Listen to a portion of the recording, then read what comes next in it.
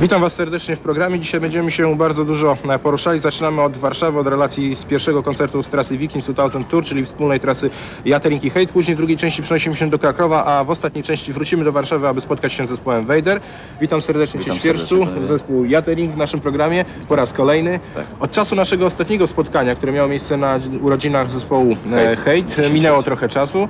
E, Pojawiły się w tym czasie nowe okoliczności związane z Waszym nowym krążkiem. Mercedes Concept. Czy mógłbyś naświetlić te nowe okoliczności? Najważniejszą sytuacją jest, już jest e, fakt, iż mamy polskiego wydawcę, którym jest firma Metal Mike Production, a następnie będziemy nagrywali e, płytę koncertową w Łęgu koło Krakowa i zagramy w tym roku na Metalmanii w Spodku.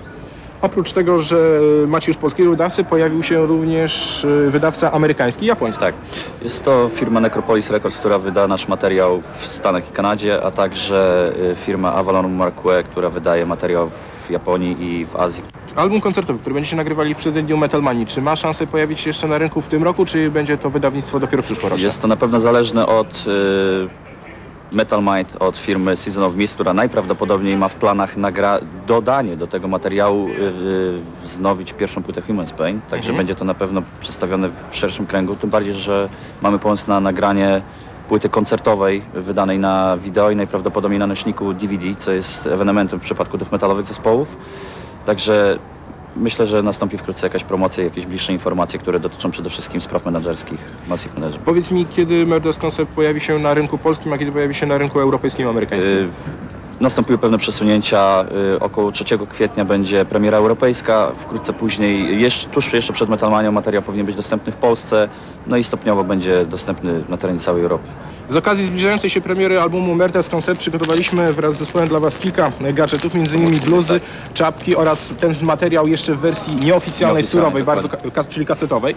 Aby wejść w posiadanie e, tych oto gadżetów należy odpowiedzieć prawidłowo na pytanie, które przygotował Świerszcz. Jaki najsłynniejszy model y, gitarowy jest sygnowany przez firmę Pivey?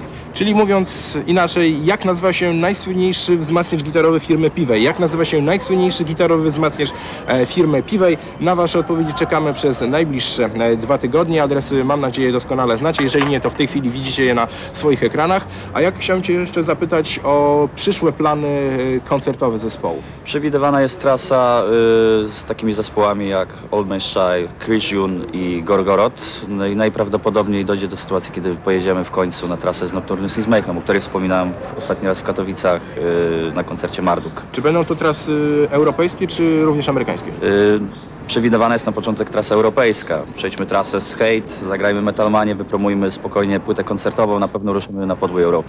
Okej, dziękuję Ci serdecznie za udział Dziękuję serdecznie.